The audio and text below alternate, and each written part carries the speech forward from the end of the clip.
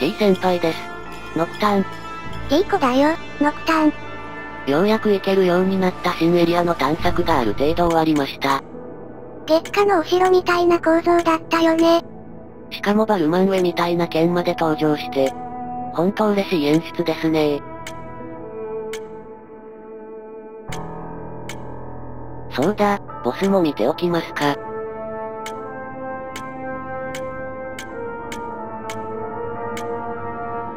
何回もとなっては懐かしいボスたちだな順調にレベルが上がってるよね。この辺になると一気に10とか上がってますからね。さすがに強かったな。ということでこの辺はほぼ終わったと思うので、図書館の方を今回は埋めていきましょうか。そうね。ここから上はまだでした。スっぽい。こういう構造はおそらくそうだね。そしてこの左に確か図書館の主っぽい人がいたんです。割と若そうなね。なんだこの巨大な本は。絶対重要な意味がある。ちょっと動いているしね。さあここです。ボス戦ではないよね。また聖火隊のやつか。正気のようだ。ほう。この妖精のおかげか。しかし弱すぎるな。人間のくせにこの俺様を妖精呼ばわりかよ。あんた何者だ？レビンだ。ここの図書館司書をしている。大爆発以降めったに見ない生きてる聖火隊に怪しい従者か待て。美しく魂が絡み合っているな。興味深い。こんな芸当が可能なのか。あんた見る目あるな。俺様が編み出した秘宝の奥義を見抜くだなんて。ふん。魂の連結か。しかも言語の力も使っている。しかしひどく精妙に仕上げたものだ。ここまで来るとあっぱれだ。私はライネと申します。こちらは相棒のイフです。あの何かご用でしょうか？それにまた聖火隊とは？かしこまらなくていいお嬢さん。ただの学者としての好奇心さ。ともかくかなりの実力者のようだ俺を手伝える資格がありそうだな。俺の願いを聞いてくれないか。俺様に手を貸して欲しければまずは誠意を見せるんだな。もし聞いてくれるならきちんと礼はしよう。怪しいやつだ。でも強い気配がするな。いいものくれるかも。ライネちゃんどう思う？いいと思う。悪意はないみたいうんいきなり会話が終わったけど。そしてここで詳しい説明が聞けたんだけど。ある意味ネタバレ。まだ聞いてないんだけどな。どうだ？決心はついたか？お手伝いさせてください何があったか詳しく教えていただけますか？大爆発の瞬間俺は大書庫で本を読んでいた俺の力では到底衝撃に耐えきれないと悟りやむを得ず自分の魂を大書庫にあった3つの魔法具とつなぎ3つの鎖を持って魔法具の領域に固定するほかなかった。おかげで衝撃に耐え大爆発による洪水で魂の海に流されるのも回避できた。なんとか生き延びたもののこの聖具で魂が縛られて結界に閉じ込められ大書庫から出られなくなってしまった。三つの聖具で自らの魂を封じるとは。人間って生きるためならどんな無茶もするよな。でも彼は成功して自分の力だけで大爆発の衝撃から生き延びたのね。好き好んで束縛される奴はいない。それ以来助けてくれる人を探しているが残念ながら何年経ってもふさわしい人材に出会えなかったとはいえここが嫌いじゃないのも事実だ。いくら読んでも読み切れないほど蔵書の海だからな。みんな雑魚だな。ここは俺様とライネちゃんの出番だぜ。ではその3つの封印の解除を手伝えばよろしいでしょうか。理解が早くて助かる。一般的に強力な魔法具は魂の海域をつなぐ封印もそこにつながっているはずだ。だからまずは俺の魂に入るために魂領域侵入魔法を学ぶ必要がある。この魔法では魂の海域をつないで入るだけでなく他人の魂領域に侵入することもできる。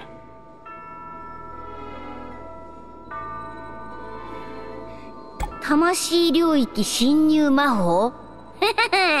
そんな魔法を覚えたら人の魂領域でやりたい放題できるじゃないか。いやそんな魔法を使えてなんで俺たちの助けが必要なんだ？それが俺が生き残った代償だ。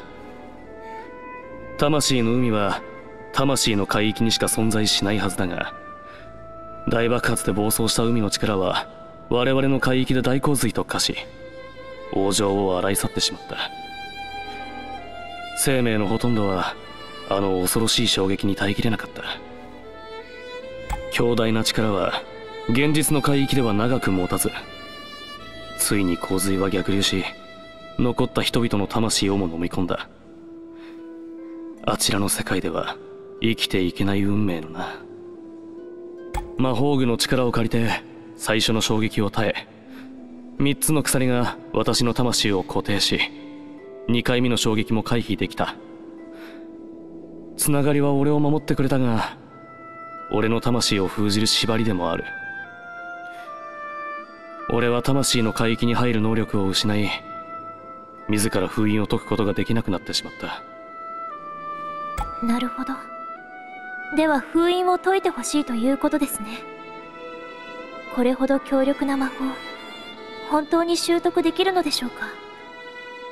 確かに魂領域侵入魔法は凡人の手に負えない代物ではあるが君は特別だ。君とそこの妖精の魂は連結し安定性を強めている。それに君たちからは魂の海の香りがするんだ。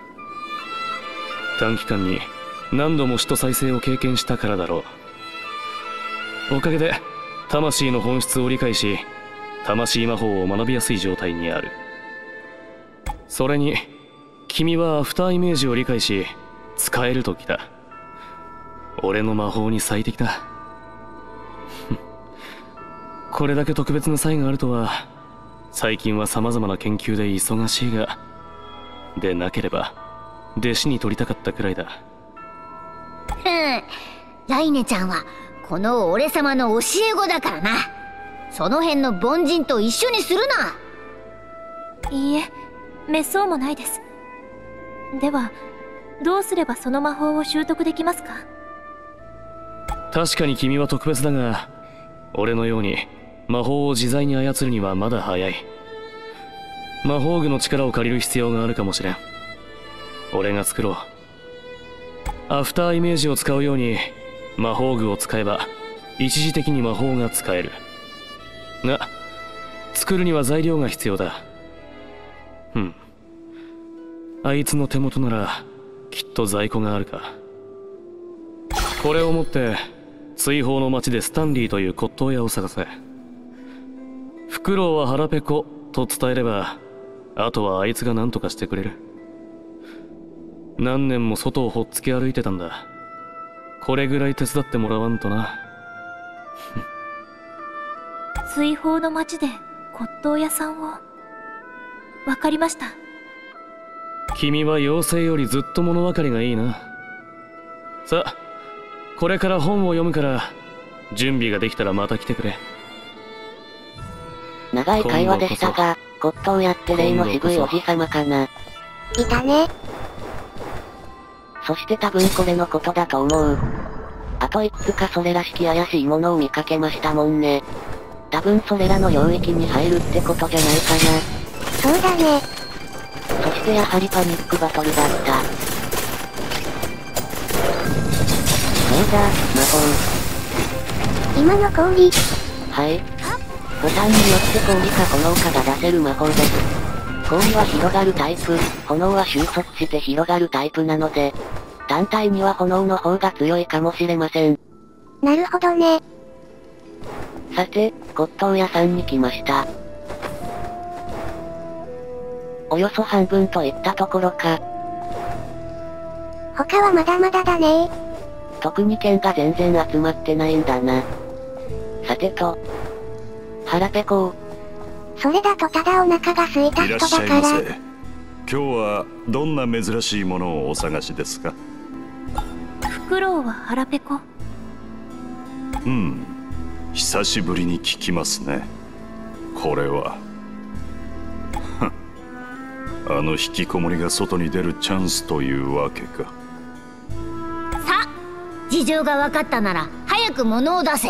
出せ出せ、どうぞこれがあのメモにあった最も貴重な材料です。入手には苦労しましたよ。この時をどれほど待ちわびたか。とお客様とても高価なものですがお支払いのご用意は？おいレビンのお使いなのになんで俺たちが払うんだ？それに材料は4つのはずだ。1つしかないぞ。お使い？これはれっきとした取引です。私は損になる商売はしませんので。はあ。あいつは全部あんたが何とかするって言ってたのに。お望みの材料は危険を冒してやっと手に入れたものばかりです。ご覧の通り僕はただのか弱き骨董商。多大な犠牲を払って探し出したのです大爆発後の庭園は昔よりずっと危険でした。あの時彼がこうなるとは思ってもみませんでしたし僕には戦う力がありません。そもそも戦いに興味もありませんが。死ぬのが怖いだけじゃないか。はあ。やっぱ俺たちで何とかするから他の材料がどこにあるか教えてくれ。気前のいいお客様は好きですよありがとうございますえ、いきなりなんだ？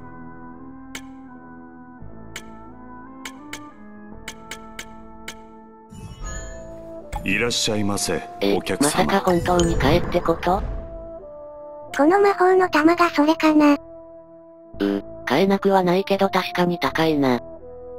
なんだよ、図書館のあの人もこの骨董屋も。グルになって騙しているんじゃあるまいな。お使いしてさらにお金まで取られちゃうのね。おかしいじゃないか。しかもそれ、私は別に必要ないのに。そうだよね。人助けなのに。まあそう言いつつ買いますけどね。なんか納得いかないなえ、束縛の糸の説明。そういえばそれ持ってなかったっけ？ああ、見た気がしますね。これだ。どこかで手に入れてました。その他に永年の水晶、天空の羽。そして純情の水が必要だそうです。どうして私たちが全部集めなければならないの？思ったより大変だったね。まあ彼は図書館から動けないらしいし。この人は強くないからって言うし。もう、仕方ないな頑張ろう。この先を見てないなと思いましたが。当然ボス戦ですよね最初の騎士だって、どういうこと？ああ、その攻撃は、例の亡霊の騎士に似てる。そういう意味か。この人がモデルなのかな。ってことは相当強いってことじゃないか。実際に強いしね。やば。標的マークはついてないんだけどな。レベルは少なくとも足りているわけだ。ってことは倒せないのなら単純に自分の力不足ってことか。そうなるね。いやー、マークがついててもおかしくないな。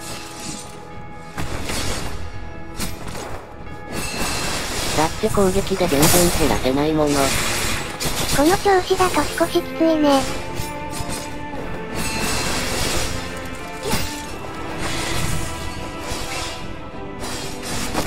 うー、もうパターンが強化してるし。こちらの動きを潰すような攻撃になってるね。非常に強いです。動きを観察することすら難しい。なんじゃ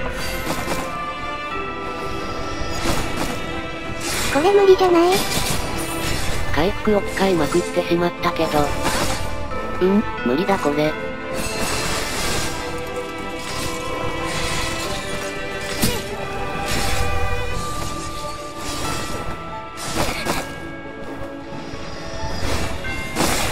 レベルは一応足りているのに倒せる気がしないのは初か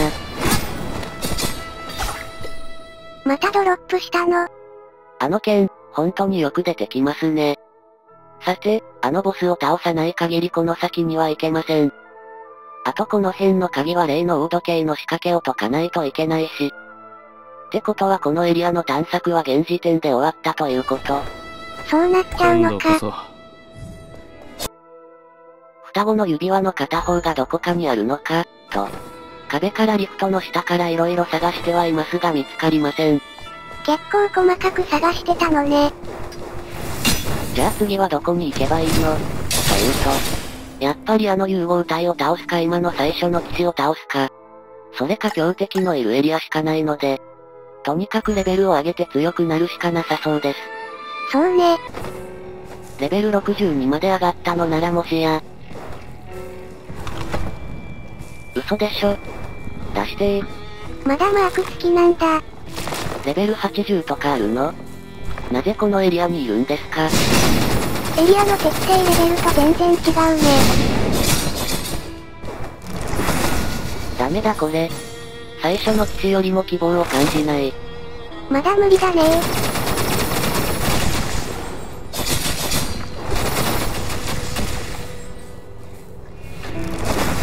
はい、さようなら